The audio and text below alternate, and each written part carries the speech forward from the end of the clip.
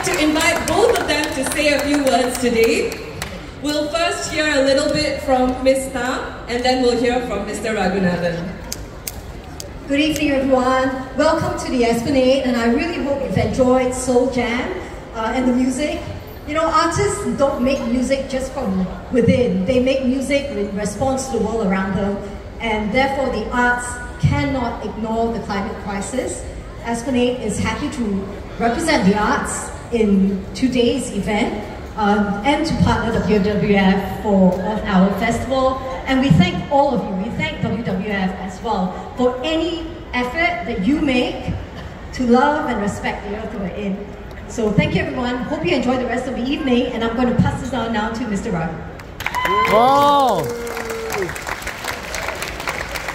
Dear Senior Minister of State, Mr. Man, ladies and gentlemen, boys and girls, welcome to WWF Earth Hour Festival 2023 at the Esplanade. Wow! As Jenny mentioned, this is the first Earth Hour Festival since 2019 that we are doing on a physical basis.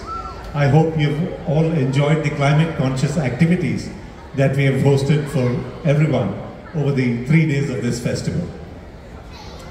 Now, as you may all know, Singapore has recently committed to achieve net zero by 2050. This is particularly relevant for Singapore, given that we face many threats such as rising sea levels, as well as the urban heat island effect, many of which, many of whom you may not know the details of. So as we live in an urban environment, uh, the temperatures tend to rise, and this requires us to uh, increase the amount of cooling that we need to cool temperatures and keep things going. Unfortunately, it increases the carbon emissions and is not good for the planet. So as uh, lights go dark this earth hour, we all need to do our collective bit to mitigate the impact of climate change. I would request all of you to take simple actions that you can to uh, in your everyday lives that will enable us to move collectively towards net zero.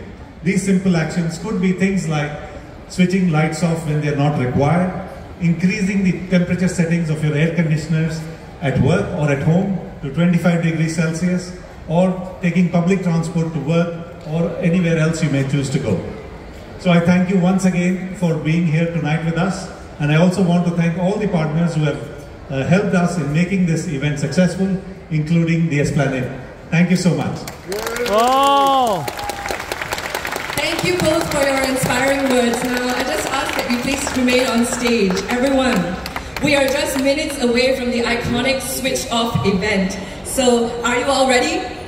Yes! Yes! Okay, now I'd like to invite our guest of honor, Minister of State, Ms. Sim Ann, to the stage. Ms. Sim Ann, please.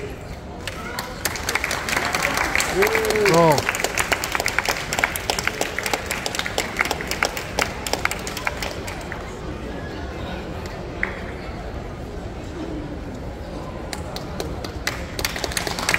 Go. All right, now before we go, we proceed, we're going to take a group photo with our three guests over here, but not just three of them. It's three of them with all of you. It's going to be one of those type photos, okay? So I don't want you guys to be in the background looking like you are confused. I want you to look like you are excited to be here because I'm sure you are. So as we count you down, I'd like to see your biggest smiles and as much enthusiasm as you can muster because this is the picture that's going to be everywhere. Okay? Are you ready? Yeah! Ready!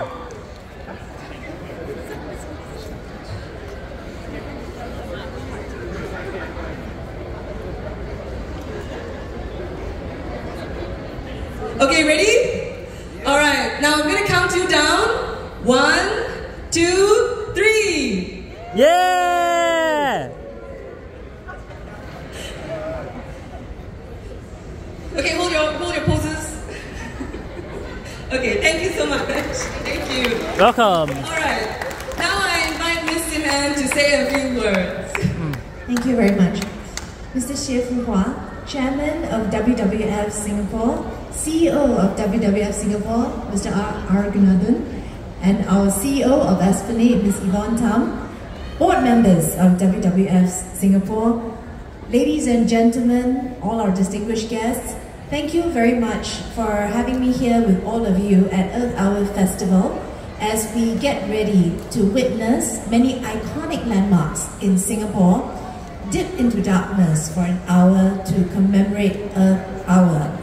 I'm here to represent the Ministry of National Development because we're one of the ministries involved in the Singapore Green Plan, and as such, we're fully committed to supporting Singapore uh, in terms of our corporates, in terms of our organizations, our communities, and of course, Singaporeans in helping to meet our climate commitments and doing our part for Mother Earth. So this year's uh, Switch Off event, uh, I understand, has received even more support than last year. Last year, more than 1,000 establishments took part. And this year, there are even more. For instance, the Orchard Road Business Association is also a part of Switch Off. And this means that our famous shopping street uh, you're also going to see their bright facades dimmed for an hour as we commemorate this very important milestone.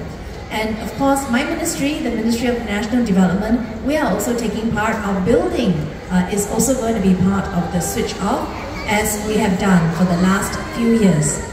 Of course, we all know that events like the switch off uh, is something that we don't do every single day. It is especially meaningful because the intention is to raise awareness. It is something where we hope building owners uh, as well as the people who do business and work in the buildings can come together and can focus our minds on the importance of honoring our climate targets. And I think it is this awareness that's going to power us through the rest of the year and in fact the decades as we look for more ways to be responsible to Mother Earth and as we work hard towards achieving the Singapore Green Plan and also leaving a sustainable future, building a sustainable future for ourselves and also for the next generation. So on this note, uh, thank you very much once again uh, for having me, uh, the Ministry of National Development, as well as our fellow ministries in the Singapore Green Plan are more than happy to be part of this occasion. Thank you very much, Esplanade, for hosting, and thank you, WWF Singapore, for what you do. Thank you, everybody. Thank you. And now we have a few minutes before the countdown, so I'd like to hear from the audience.